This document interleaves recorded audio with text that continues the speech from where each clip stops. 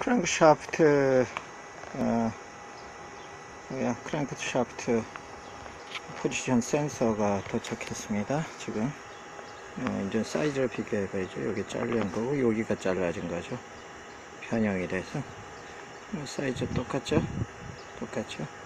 확인하고 그 다음에는 이제 silicone lubricant 뿌려야죠. 안 그러면 잘 안 들어가요.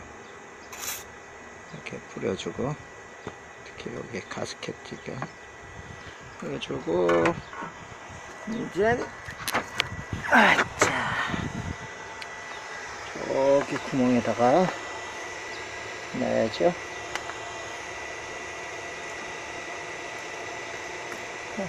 그냥 쑥 들어가요 그냥 쑥 들어가고 어 들어갔어요.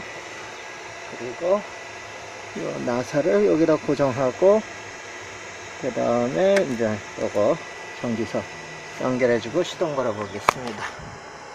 네, 저기 잘 꽂았고 전기도 꽂았습니다.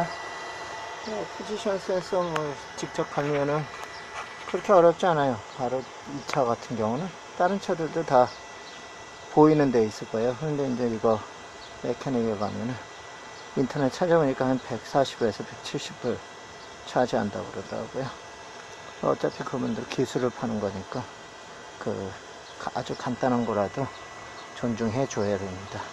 이거는 지금 제가 뭐 크게 고장이라고 생각하지 않는 파트예요. 왜냐면은 noid test도 통과했고 전기 시그널도 그대로 오고 있었고 점화 플러그 테스트도 다 통과했기 때문에 그리고 RPM도 정상적으로 어, 측정이 되고 그래서 이거는 의심하지 않는데 뭐 15년 된 차니까 센서 같은 거 쉽게 갈을 수 있는 거는 뭐 제가 있을 때 싹 갈아주는 게 좋겠죠?